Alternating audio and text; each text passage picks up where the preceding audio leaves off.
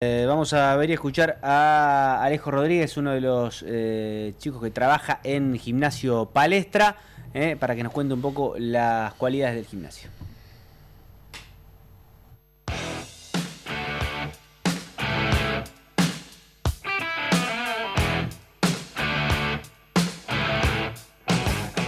Bueno, acá en Palestra nosotros tenemos una línea de entrenamiento en la cual la separamos en tres partes. Eh, cosa que abarque la mayor eh, posibilidad para todos, digamos, o sea, abarca las mayores opciones para todos.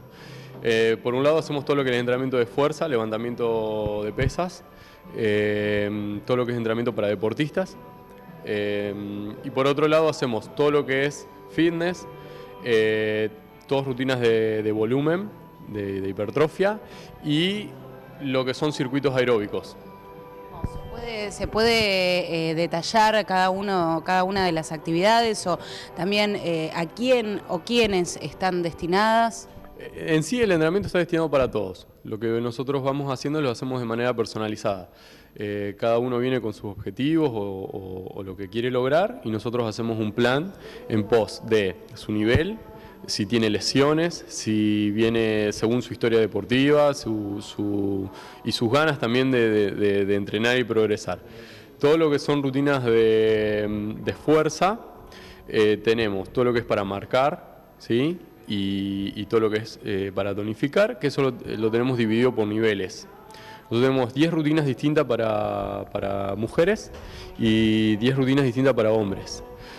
Suponiendo que viene alguien que nunca hizo nada, entonces tenemos toda una metodología de trabajo que va por niveles, de, eh, son 10 niveles.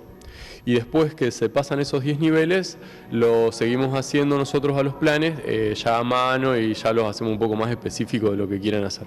La idea es ir adecuando, como vos decís, el entrenamiento a, la capacidad, la necesidad que tenga cada una de las personas. Claro, además... Eh, todos esos planes que ya están estandarizados, digamos, los estandarizamos en una metodología de trabajo, eh, al mismo tiempo se van modificando según eh, cada persona. Eh, después de mm, todo lo que son rutinas de volumen y demás, también si viene alguien que quiere solamente realizar volumen muscular, todo lo que es estética y musculación, también se hace con un seguimiento y demás. Los planes, digamos, son, son personalizados se pueden ir combinando las distintas actividades. Sí, se combinan. Más que nada, si, el plan de entrenamiento, por ejemplo, eh, es para bajar de peso, siempre tratamos de que hagan em, de los días de la semana que vienen se vayan combinando. Algunos días que hacen fuerza y otros días que hacen circuitos aeróbicos que nosotros utilizamos más que nada los protocolos de, intermitente, de circuitos intermitentes y de HIT. Son, son dos protocolos que, usamos bastante nosotros y que nos dan bastante resultados.